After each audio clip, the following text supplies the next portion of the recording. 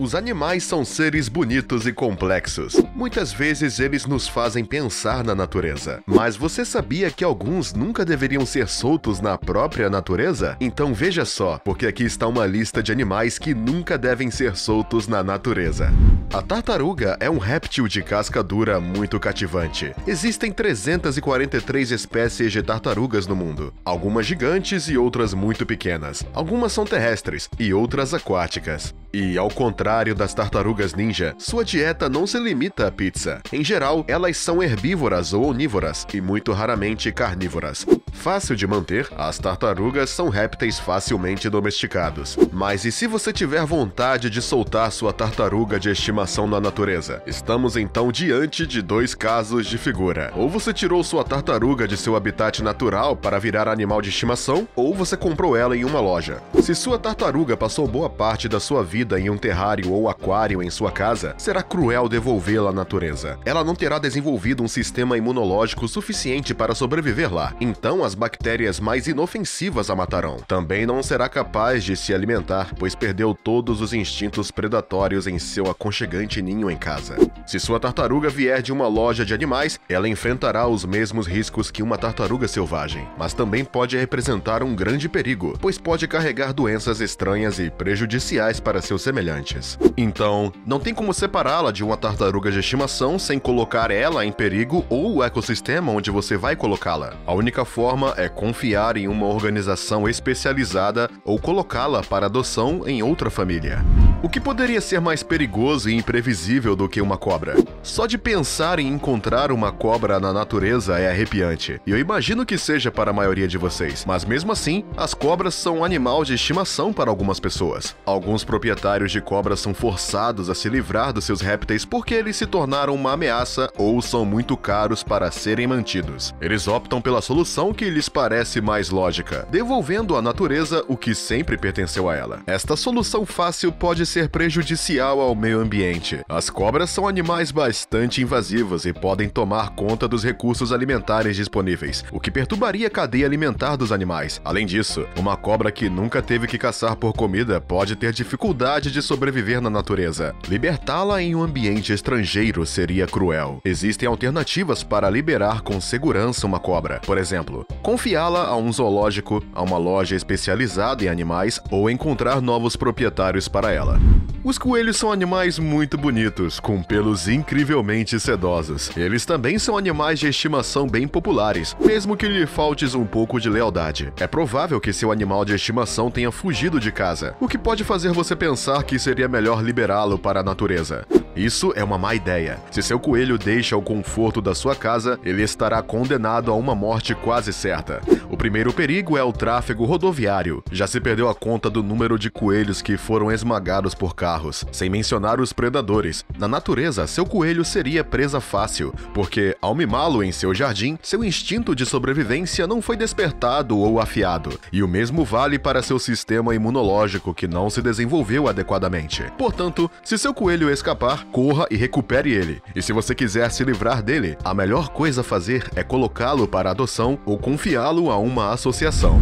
Você sabia que 7 mil tigres estão domesticados somente nos Estados Unidos? Quase o dobro da população selvagem existente. Tenho certeza de que você já ouviu falar do documentário Tiger King, um zoológico privado que permite que seus visitantes estejam em contato direto com os grandes felinos, sem barreiras. Várias associações de proteção animal denunciam as más condições de confinamento destes majestosos felinos e levantam a questão ética de domesticar um grande gato, que é acostumado a caçar e viver em grandes espaços e privá-lo do seu habitat natural. Seria o suficiente para libertá-los da natureza. Mas é muito mais complicado do que isso. Na verdade, a maioria dos animais selvagens criados em cativeiro ou são consanguíneos com uma expectativa de vida muito limitada ou híbridos, ou seja, são resultado de cruzamentos, muitas vezes não regulamentados. Isto tem dado a vida a bestas que são especialmente incapazes de sobreviver às mudanças climáticas externas. Como os animais sempre viveram em cativeiro, eles não têm as habilidades necessárias para caçar presas. Portanto, somente uma suave reintrodução reprodução na natureza sob a supervisão de mãos experientes é possível para evitar o pior para estes animais. O salmão é um peixe amplamente consumido no mundo, cozido ou cru, e dá vida a vários pratos. Infelizmente, os estoques de salmão selvagem não são mais grandes o suficiente para alimentar a população mundial. Isso é precisamente o que levou à expansão das pisciculturas, já que o grande consumo de salmão fez da criação de salmão um negócio muito lucrativo. O salmão de viveiro é maior e, portanto, mais lucrativo para os piscicultores. Estes nadadores competitivos, que em seu habitat natural são encontrados nos maiores rios do mundo, apenas engordam e se reproduzem nas redes agrícolas. Isso incentiva a proliferação de parasitas que são inofensivos aos humanos, tais como piolhos do mar e o reovírus dos peixes, mas muito perigosos para os animais. Se um salmão escapar da fazenda para a população selvagem, corre o risco de transmitir esses parasitas, o que será fatal para eles. E isto é o que aconteceu na Noruega. Em 30 anos, devido à criação intensiva de salmão, a população selvagem foi reduzida em 50% neste país. Entretanto, podemos remediar esta praga e salvar o que resta do salmão nativo, consumindo espécies locais e uma pesca sustentável que respeite os ecossistemas. As cabras sempre fizeram parte de nossa paisagem agrícola, tanto que esquecemos que elas viveram pela primeira vez na natureza no Cáucaso, no Irã, no Afeganistão ou no Iraque. Estes animais muito amigáveis são, no entanto, bastante robustos e têm uma capacidade de adaptação bem surpreendente. E foram essas qualidades que impulsionaram os primeiros colonos a trazê-los, a introduzi-los em seus países para a criação de gado. Mas o que aconteceria se decidíssemos libertar todas as cabras para a natureza e dar-lhes liberdade? O resultado pode ser desastroso. Estes animais inofensivos, à primeira vista, são pastadores vorazes. Libertá-los da natureza transformaria as paisagens mais verdes em desertos áridos. O apetite selvagem deles perturbaria rapidamente a cadeia alimentar, pois, ao destruir a flora de um ecossistema, os caprinos destruiriam inevitavelmente toda a vida selvagem que depende da vegetação para prosperar. Para evitar que as cabras nos invadam e causem um desastre ecológico, vamos mantê-las nas fazendas e desfrutar de seus recursos, como leite, queijo e carnes saudáveis. Os castores são roedores semi-aquáticos e engenheiros natos.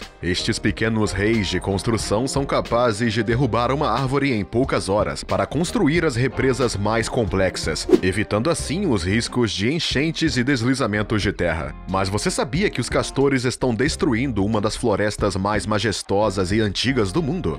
Na verdade, a floresta patagônica que se estende entre a Argentina e o Chile está em grave perigo por causa desses roedores. Isso começou com 50 castores que a Argentina importou em 1946 do Canadá para aproveitar o muito lucrativo comércio de peles. Tendo encontrado os recursos e o ambiente certo para sua reprodução, eles são agora uma população de mais de 200 mil castores que invadem a Patagônia e não param de derrubar as árvores antigas. Isso coloca em perigo a floresta e todas as espécies que nela habitam. O governo argentino, em colaboração com Chile, está tentando remediar esta praga. Embora essa tarefa seja difícil, eles investiram muito dinheiro para erradicar este animal invasivo e tentar preservar a Patagônia.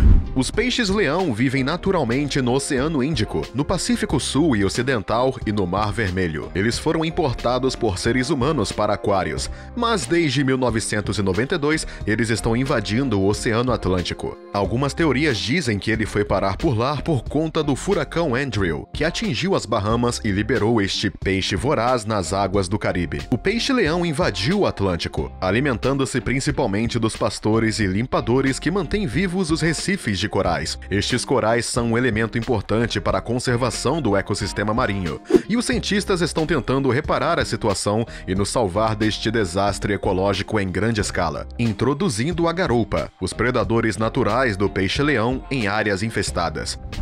O panda gigante, este adorável e amigável urso de duas cores, é uma das espécies mais ameaçadas e raras do planeta.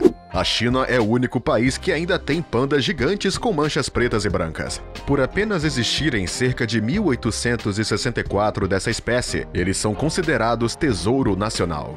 Já te disseram que os pandas que vivem na natureza têm menos chance de atingir a sua expectativa de vida máxima? Os pandas têm um sistema reprodutivo muito lento e muitas vezes precisam de ajuda humana para acasalar. Eles vivem na natureza em florestas de bambu, que também estão se tornando cada vez mais ameaçadas. E como sua dieta consiste exclusivamente de bambu, eles têm falta de recursos alimentares. Isso não ajuda muito sua situação, se eles forem deixados para se defenderem. Com isso, as autoridades chinesas desenvolveram lugares exclusivamente para os pandas, reservas naturais sob alta vigilância e onde serão tratados com o máximo de cuidado. Gostaríamos que os pandas vivessem um dia em segurança e independência, mas a devastação quase irreversível causada pelo homem limitou consideravelmente seu habitat e seus recursos naturais. Portanto, enquanto isso, cabe a nós preservá-los o máximo possível. Você já pensou em adotar um peixinho dourado? Os peixes dourados são os primeiros peixes em que pensamos quando se trata de adotar uma criatura aquática.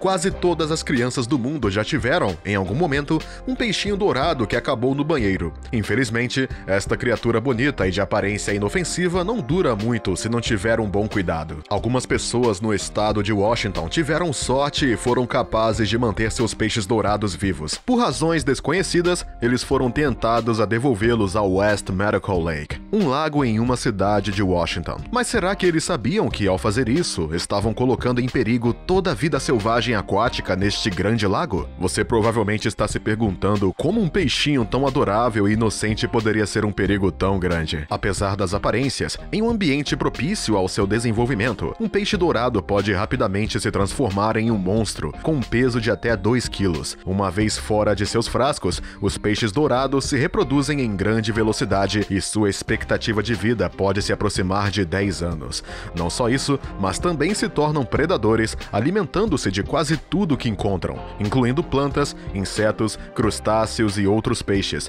mas também de lama e sedimentos, o que estimula o crescimento de algas ruins. E assim eles desequilibram os ecossistemas aquáticos, não deixando nenhuma chance para os peixes que são seu habitat natural. E foi assim que os moradores de Washington investiram mais de 150 mil dólares em vão na luta contra a invasão de peixes dourados que causou estragos no lago de Medical Lake. E esse é apenas um de muitos casos. Guerras estão sendo travadas contra este predador amigável no lago Epping Forest de Londres, nos rios Alberta, no Canadá, e no lago Tahoe, em Nevada. Não se deixe enganar pela beleza do seu peixinho dourado. Liberá-lo na natureza é uma ideia muito ruim. Qual desses animais o surpreendeu mais? Fala pra gente nos comentários. E se você gostou do vídeo, não se esqueça de nos dar um like, se inscrever no canal e ativar o sininho para receber todas as notificações e não perder nenhum de nossos próximos vídeos. Até breve com um novo vídeo.